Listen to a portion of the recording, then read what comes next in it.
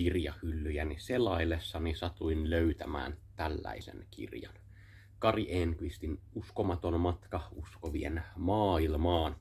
Tämä oli ilmestyessään jossain määrin halveksuttu teos ja ei mikään ihme, koska tämä on tosiaan painettu vuonna 2012, ainakin tämän kirjan kannen mukaan.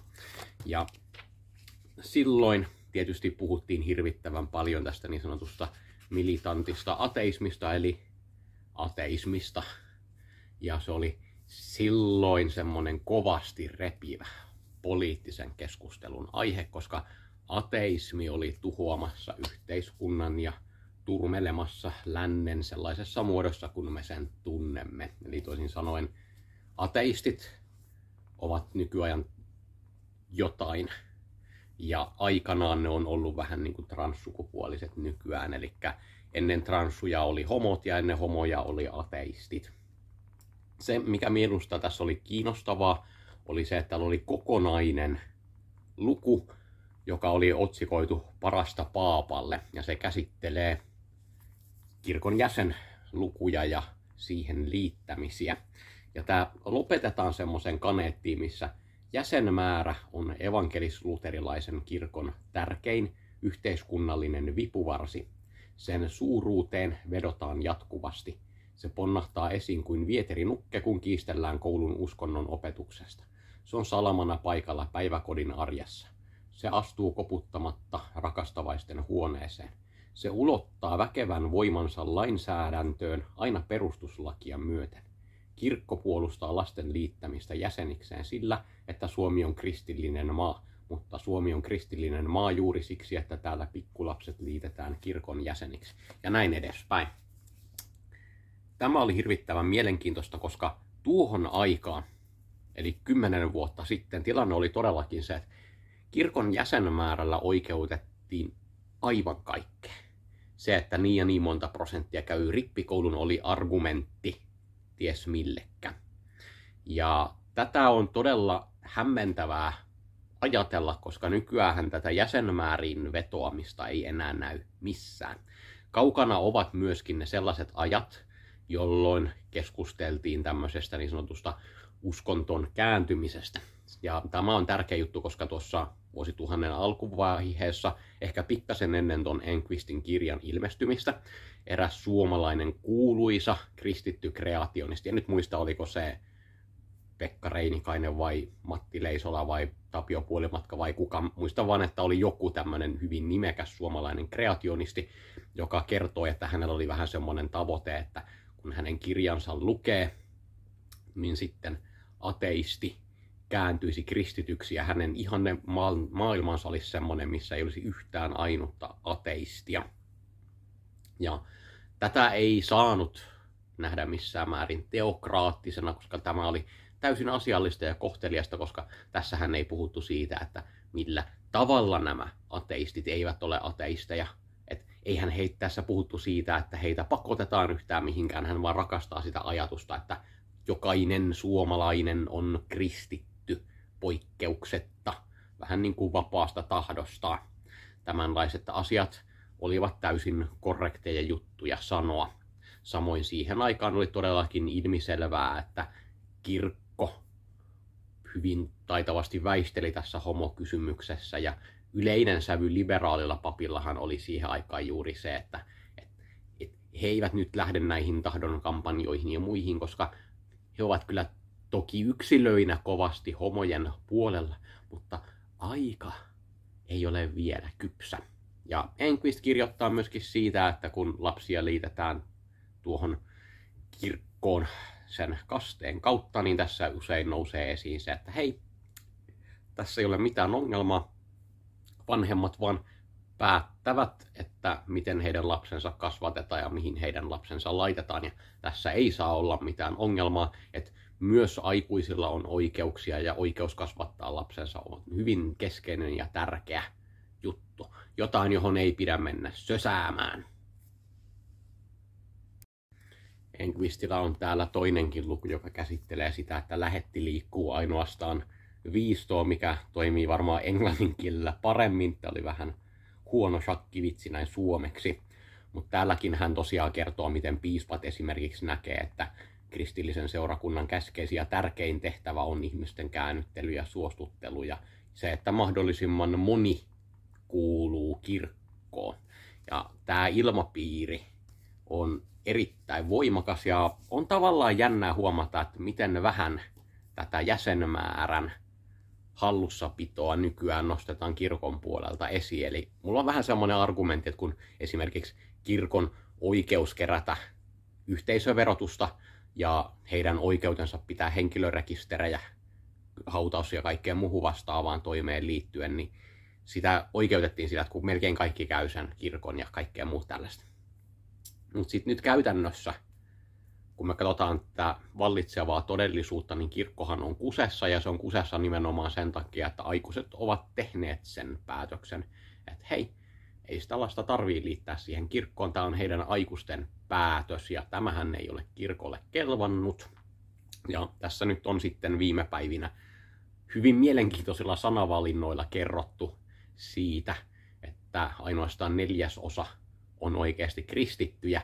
Tässä on tämmöinen C.S. Lewis-mainen retorinen temppu mukana. Näitä on oikeastaan aika hauskaa lukea, eli kirkkohan ei luonnollisesti tunnusta, että näin ja näin moni ihminen ei usko kristinuskon Jumalaan, koska heillä on hyvin tärkeänä se, jokainen oikeasti syvällä sydämessään uskoo Jumalaa. Ja sitten nämä tämmöiset, sanotaanko, mielipiteet, jotka nyt ei ainakaan tieteen ehtoja täytä, heijastuu näihin tämmöisiin otsikkoihin hyvinkin voimakkaasti, ja kun sen tiedostaa, ne alkaa näyttämään suoraan sanoen todella todella hupsuilta. Ei toki niin hupsuilta kuin ne, sanotaanko, äärioikeistolaiset veikkoset, jotka tästäkin ovat keksineet, että kun islam on nousussa ja enää neljäsosa uskoo kristinusko Jumalaan, niin nyt väestön vaihtoteoria on tosi, vaikka oikeasti se, että islamia on enemmän, ei liene mikään ihme, koska ei tässä nyt ihan hirveästi ole aikaa, että islam oli silleen niin kuin pieni pieni marginaali. Sillä ei ole tavallaan kuin suunta johonkin. Että silloin ainut suunta on ylöspäin. Ja sitten samalla tietysti kristiuskossa on hirvittävä määrä ollut niitä jäseniä, joten tietysti sillä on vain toinen suunta ja nämä tämmöiset lukujen käsittelyt ei ilmeisesti oikein mene noille ihmisille kaaliin. Ihan samalla tavalla niille ei näytä menevän kaaliin se, että tämmöinen kirkosta eronnut ja ei Jumalaan uskova voi olla tämmöinen kantasuomalainen ateisti tai joku muu vastaava mun kaltainen ihmishirvitys. Ja tämä on mun mielestä semmoinen mielenkiintoinen juttu nostaa esiin, koska nythän tässä on viime aikoina noussut aika vahvasti esiin se, että ainoastaan neljäsosa uskoo Jumalaan siinä mallissa, miten kristinusko sen opettaa. Eli kristinusko on jo nyt marginaalia. Ja meidän täytyy sen takia kysyä, että missä nyt on se iskulause, missä vähemmistön ei tarvitse olla missään semmoisessa ihmeellisessä vaateessa, missä enemmistön pitäisi elää heidän vaatimustensa mukaisesti. Ja te olette marginaalia. That's a fact. Se on niin kova fakta, että jopa kirkon tutkimuskeskus, jolla on insentiivit kiemurella näiden asioiden kanssa ja pitkä historia myös tässä asiassa kiemurtelusta, joutuu tunnustamaan sen. Eli me ollaan tultu aika lailla pitkälle siitä hetkestä, kun mäkin argumentoin, että hei, tilastoilla, kirkon omilla tutkimuksilla, niin Suomessa on yli miljoona ateistia. Se ei mennyt perille siinä vaiheessa, koska siinä vaiheessa puhuttiin vaan sitä, kuinka moni ihminen käy rippikoulun ja kuinka moni kuuluu kirkkoon ja miten vapaa-ajattelijoissa on vain pari tuhatta jäsentä. Eli tässä ihan selkeästi tarkoituksella laskettiin vaan vapaa-ajattelijat, eikä niitä, jotka esimerkiksi sanovat, että eivät usko ollenkaan Jumalan olemassaoloa. Ja nyt ollaan niin kusessa, että ei enää oikeastaan millään kikkailulla saada irti mitään muuta kuin se, että se on se yksi neljäsosa.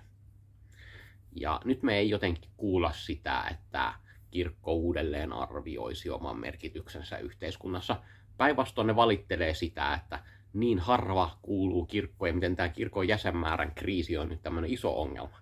Mä näkisin, että ei se välttämättä ole niin iso ongelma. Eli kun me esimerkiksi katsotaan niitä syitä, että minkä takia kirkosta erotaan, niin suuri osahan niistä on niin sanotusti taloudellisia argumentteja, mikä on semmoinen, että se on jotain, jonka kristittyjen pitäisi ymmärtää, koska ne jatkuvasti tuuttaa sitä argumenttia siitä, jos minä olisin ateisti, niin sitten minä kyllä aivan varmasti silti kuuluisin kirkkoon ja tukisin sitä hyvää työtä.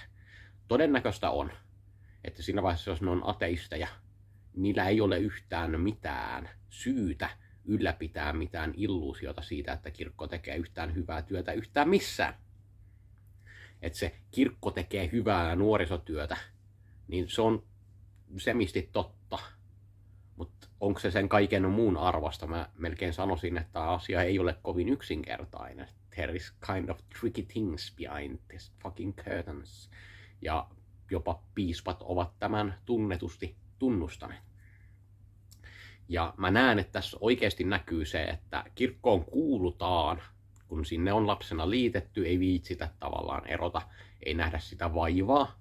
Ja ainoastaan 25 prosenttia on se, joka niin kuin periaatteessa on oikeita oikeita kirkon jäseniä. Ja kaikki tämän yli niin ovat siellä korkeintaan tämmöisestä säälirahasta, että annetaan niille nyt, että ne saa harrastaa tota noiden toimintaa, johon minä en liity oikein millään tavalla. Ja tässä myöskin näkyy luonnollisesti se, että kirkon jäsenistö on tosi vanhoja ja nuoria ei liitetä sinne kasteen kautta, joten nämä seuraavat 10-20 vuotta tulee olemaan todella dramaattisia kirkon jäsenluvun kanssa. Ja tässä ei tarvii mitään väestönvaihdosta, paitsi tietysti siinä mielessä, että nuoremmat elävät yleensä pidempään kuin vanhat, ja siinä mielessä nuoret ihmiset korvaavat vanhat ihmiset väestön vaihtetkinen. Näitä ei niin mitään järkeä heti, kun sä huomioit tämän tämmöisen ikäpyramidiasian tässä. Ja tämän avainpointti on tavallaan se, että kirkkolaiset sössi sen ihan itse, että kun niille sanottiin, että me ei haluta ottaa osaa teidän yhteislaulatuksia ja muuhun vastaavaan, niin ne on silleen, mutta kun meitä on niin paljon. Ja ne tuuttas ja tuuttas sitä, ne pakotti veroten siihen, että niitä on niin paljon. No niin, no nyt ei ole. Ja ne ihmiset, jotka te pakotitte laulamaan, niin ne vihaa teitä. Ne ei halua olla teidän jäseniä. Te sitten tämän jutun ihan itse. Ja mä oikein tiedä, että mitä tähän kaikkeen edes voi sanoa. Ja sen takia mä sanon tähän vaan sen, että, että minun tavoitteenani, tämmöisenä hyvänä, sydämellisenä tavoitteenani on, että pian koittaisi sellainen aika, että Suomessa ei olisi ainuttakaan kristittyä. Suomessa olisi nolla kristittyä. Ja tässä ei ole minkäännäköistä kommunistista pakkoa, koska minä vaan haluan, että he vapaaehtoisesti luopuvat Jeesus Kristus harhaopista ja siirtyvät uskomaan oikeaan darwinistiseen naturalismiin. Halleluja! Ja kaiken lisäksi minä tietenkin kovasti sympatiseeraan esimerkiksi kirkon nuorisotyöntekijöitä, jotka nyt eivät saa palkkojaan maksettua. He, he joutuvat kärsimään ja he saavat potkut ja nyt sitten me joudumme kauniita kirkkorakennuksia myymään niin, että sinne pääsee asumaan vähävaraiset ihmiset ja niihin voidaan perustaa pizzerioita. Minä kovasti olen myötätuntoinen tähän, mutta valitettavasti aika ei vain tällä hetkellä ole kypsä, yleinen mielipide nyt. Valitettavasti tällä hetkellä ei ole kovin altis tämänlaiselle sympatian konkretisoi